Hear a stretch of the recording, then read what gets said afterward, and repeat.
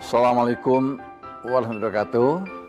Saya Pak Muhammad Daniel dari Kota Bandung mengajak kepada seluruh masyarakat Kota Bandung untuk menjadikan peringatan Hari Kemerdekaan Republik Indonesia yang ke-75 ini sebagai momentum terus memperkokoh persatuan dan kesatuan bangsa. Assalamualaikum warahmatullahi wabarakatuh. Saya Yana Mulyana, Wakil Wali Kota Bandung.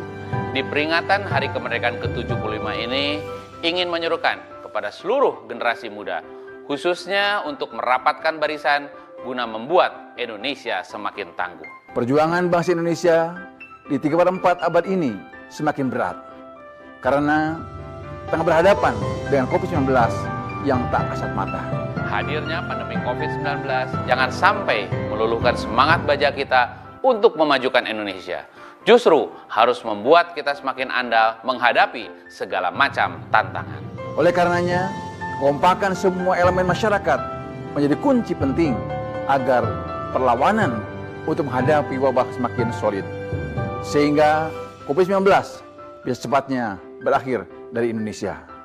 Mari kita meneruskan estafet perjuangan para pahlawan dengan menorehkan prestasi di berbagai bidang guna membawa merah putih berkibar di puncak tertinggi. Mari kita perkuat kolaborasi demi melahirkan gagasan yang brilian.